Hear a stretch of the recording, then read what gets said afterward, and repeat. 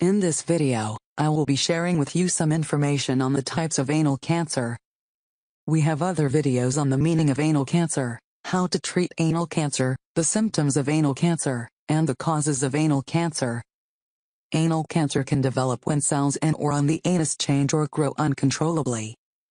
The abnormal growth of cells in the anus is called anal intraepithelial neoplasia, or ANE. It is also called anal squamous intraepithelial lesions, or cells. Tumors that develop in or on the anus are either benign, which means non-cancerous, or are malignant, which means cancerous. Abnormal cells that develop in the anus can go away on their own or they can become cancerous. The different types of anal cancer are based on the type of anal cells in which the cancer develops. Different types of cancer can start in the anal region, and I will be briefly describing each of them. The first one is squamous cell carcinomas. Most anal cancers in the United States are squamous cell carcinomas. These tumors come from the squamous cells that line most of the anal canal and the anal margin. Squamous cell carcinomas in the anal canal have grown beyond the surface and into the deeper layers of the lining, as opposed to carcinoma in situ. Squamous cell carcinomas are treated similarly to squamous cell carcinomas of the skin elsewhere in the body. Cloacogenic carcinomas, also called basaloid or transitional cell carcinomas, are a type of squamous cell cancer, and they develop in the transitional zone, also called the cloaca. These cancers look slightly different under a microscope, but they behave and are treated like other squamous cell carcinomas of the anal canal. A small number of anal cancers are known as adenocarcinomas. These can develop in cells that line the upper part of the anus near the rectum, or in the glands under the anal mucosa that release their secretions into the anal canal. Most anal adenocarcinomas are treated the same way as rectal carcinomas. Adenocarcinomas can also start in apocrine glands, which is a type of sweat gland of the perianal skin. Paget's disease is a type of apocrine gland carcinoma that spreads through the surface layer of the skin. Paget's disease can affect skin anywhere in the body but most often affects skin of the perianal area, vulva, or breast. This condition should not be confused with Paget's disease of the bone, which is a different disease. Basal cell carcinomas are a type of skin cancer that can develop in the perianal skin. These tumors are much more common in areas of skin exposed to the sun, such as the face and hands, and account for only a small number of anal cancers. They are often treated with surgery to remove the cancer. Melanomas are cancers that develop from cells in the skin or anal lining that make the brown pigment called melanin, and only a very small portion of anal cancers are melanomas. Melanomas are far more common on the skin and other parts of the body, and if they are found at an early stage before they have grown deeply into the skin or spread to lymph nodes, they can be removed with surgery, and the outlook for long-term survival is very good but because anal melanomas are hard to see, most are found at a later stage. If possible, the entire tumor is removed with surgery. If all of the tumor can be removed, a cure is possible. If the melanoma has spread too far to be removed completely, other treatments may be given.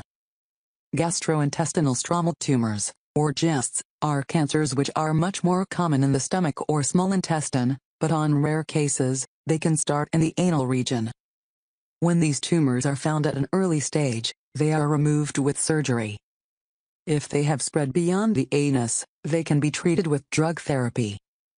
But, what are the treatment options? Anal cancer treatment depends on a number of factors.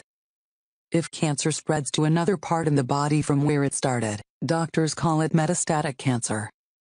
If this happens, it is a good idea to talk with doctors who have experience in treating it. Doctors can have different opinions about the best standard treatment plan. Also, clinical trials might be an option. Learn more about getting a second opinion before starting treatment, so you are comfortable with your treatment plan chosen. Your treatment plan may include a combination of surgery, radiation therapy, and chemotherapy. Palliative care will also be important to help relieve symptoms and side effects. For most patients, a diagnosis of metastatic cancer is very stressful and, at times, difficult to bear. Patients and their families are encouraged to talk about the way they are feeling with doctors, nurses, social workers, or other members of the healthcare team. It may also be helpful to talk with other patients, including through a support group. Now, what about remission and the chance of recurrence? A remission is when cancer cannot be detected in the body, and there are no symptoms. This may also be called having no evidence of disease or NAD. A remission may be temporary or permanent. This uncertainty causes many people to worry that the cancer will come back.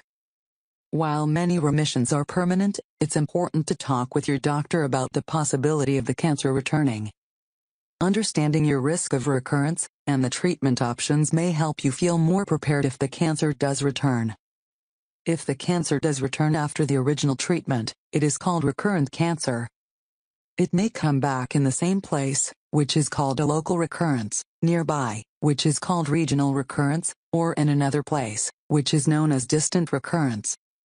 When this occurs, a cycle of testing will begin again to learn as much as possible about the recurrence. After testing is done, you and your doctor will talk about your treatment options. In most cases, the treatment plan will include the treatments described above, such as surgery, chemotherapy, and radiation therapy, but they may be used in a different combination or given at a different pace. Your doctor may also suggest clinical trials that are studying new ways to treat this type of recurrent cancer. Whichever treatment plan you choose, palliative care will be important for relieving symptoms and side effects.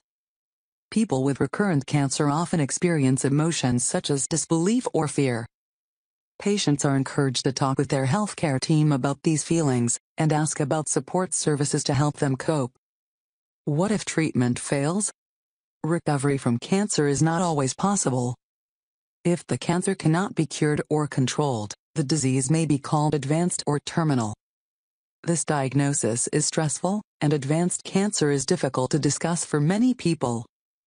However, it is important to have open and honest conversations with your doctor and healthcare team to express your feelings, preferences, and concerns. The healthcare team is there to help.